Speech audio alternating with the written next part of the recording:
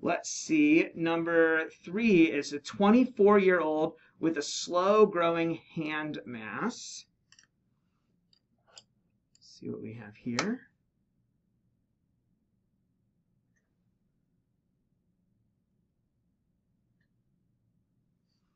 Okay. We've got a large, large mass of something, multiple nodules here. Okay, do you have any ideas about this particular case? I I have one that like because the cells look very epithelial. Uh huh. Yep. And like putting together with uh, like the sarcoma looking for proliferation and like necrosis and like it's a malignant tumor probably. So I would I went with the like uh, epithelial sarcoma. Very good. This is indeed an epithelioid sarcoma.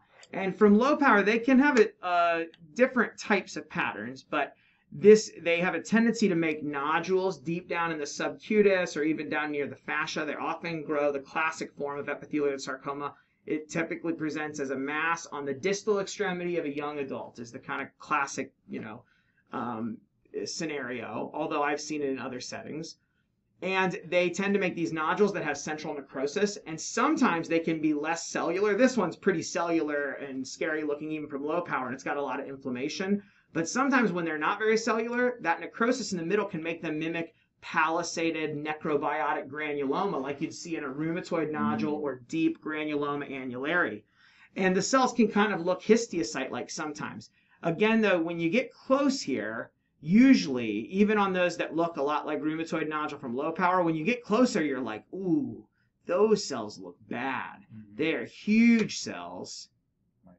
Yeah, they'll have mites. They're really big and atypical. They tend to have this kind of pale, cleared out chromatin like this. See, they sometimes they have like this uh, this kind of very pale vesicular looking chromatin, kind of a grayish color. The cytoplasm is usually this dense pink cytoplasm because they are filled with keratin filaments. So they look epithelioid and they stain with keratin because they're filled with keratin filaments. So because of that, they, they almost have that kind of hard cytoplasm that you see like in a squamous cell carcinoma. But to me, I think cytologically, sometimes they have some resemblance to squamous cell carcinoma to my eye. I don't I don't hear people talk about that very often. Although you're not going to, you know, get a, a how old was this patient again? I can't remember what did I say. They're young though, right? 50, 50, uh, sorry, 24. Yeah, 24 year old's not going to get a nodule of squamous cell carcinoma in their subcutis, right? That just doesn't make sense. So, um, in any case, this is epithelioid sarcoma, and um, there is a, there's a variety of different epithelioid soft tissue malignancies that can come into the differential with this, and that's kind of a little outside the scope of, of for just one video, but um, and a lot of the epithelioid the sarcomas that have epithelioid features, a lot of them stain with keratin, which is particularly frustrating and problematic. So these tumors also have loss of INI1 Oh, or yeah. SMARC-B1, S-M-A-R-C-B1. In the vast majority of cases, there are some rare exceptions that have an alternative, a SMARC-A4, I think, or BRG1 that can be lost. Uh, I don't think I've seen one of those yet that I know of, but uh, in any case, the uh, these tumors will have INI1 loss usually, and so the nuclear INI1 is usually expressed in the nuclei of most nucleated cells in the body, and the tumor cells will have loss of that, but the background cells will stain. So you'll still see it in inflammatory cells and endothelial cells.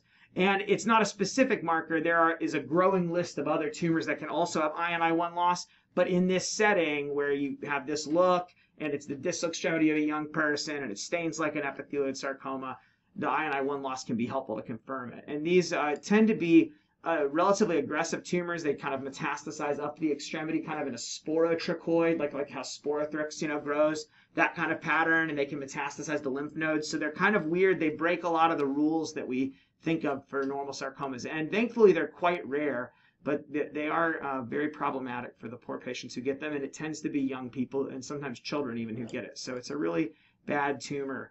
Um, and you know, you could, if you see the blood, you could think of epithelioid angiosarcoma, which can sometimes have some similarities in staining.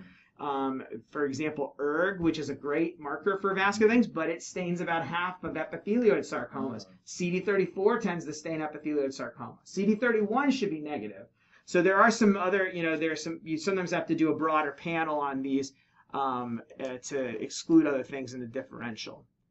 But that is a good one to remember. So I, I try to remember anytime I think I've got a rheumatoid nodule or a deep granuloma annulare, I always ask myself, is there any way it could be epithelioid sarcoma in the hopes that I won't make that mistake? Because I've seen some that were really close mimics. And um, so I just try to make it a habit to ask myself that. And of course, the, most of the time, I mean, granuloma annulare and rheumatoid nodule are so much more common than this very rare tumor. But I try to always keep that in mind so I don't, you know, make that mistake.